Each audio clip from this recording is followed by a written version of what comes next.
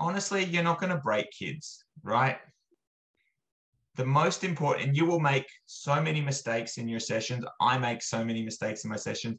Guess what? With a baby, a typical developing baby and a parent connection, there's actually more breaks in communication than communication that works. And the cool part is it's in the repair that resilience and regulation comes, right? That's where the learning is. You don't want to be constantly challenged.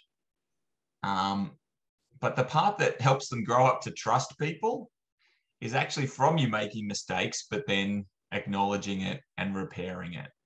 And so if you go in with good intentions and you read their cues so that you're not just pummeling through, but you're backing off and you're, you're sort of commenting when you get it wrong, you're saying, no, Kim, I didn't want that.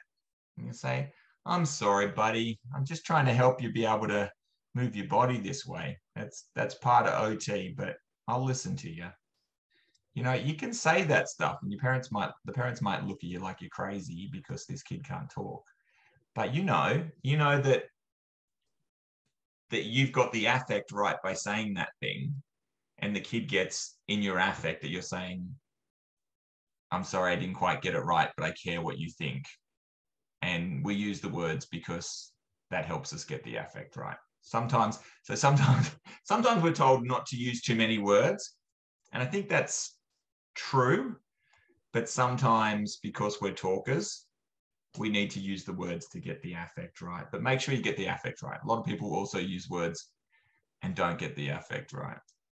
I'm just on free association here, but um, so I, I often will hear therapists be like, ah, ah, ah, no, no.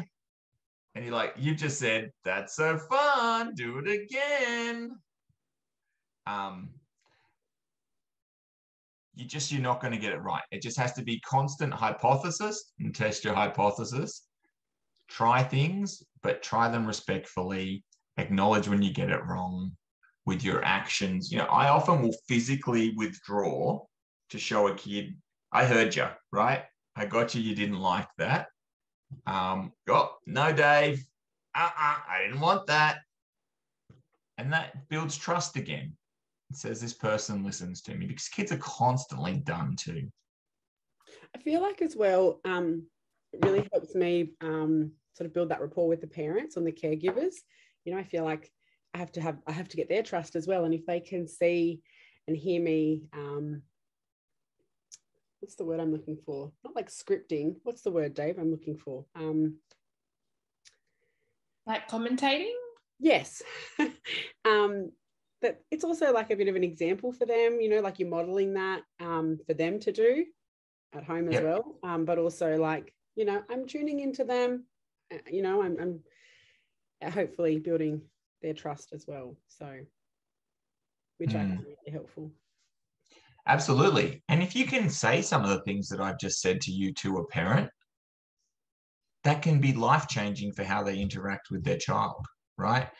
you know, people, you can get articles about how, like, there was a whole big thing last year. There was someone had said that people should ask permission when changing a baby's diaper. It was an American article, and everyone was up in arms. How stupid! What is the world coming to? Babies can't talk. Ask me, and and I think you just stop, stop and have a conversation, and stop and think about it, and stop and think of the ramifications of being done to when things are uncomfortable and that just we know that there's just such a richer connection and that building of trust and respect in other people and helping kids anticipate will help them understand the world and be able to anticipate things in the future it's not like you're expecting the kid's going to say oh no i'd rather you not change my diaper um, and it's not really that you're asking like the kid has to change their nappy right but you're saying oh, you know, we're going to do this, you know, like,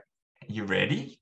Oh, you're a little you're worried about that. We got, here's how we go. Know, like, you have this dialogue. And I think in many ways, it's just reading the kids' cues, getting into a groove.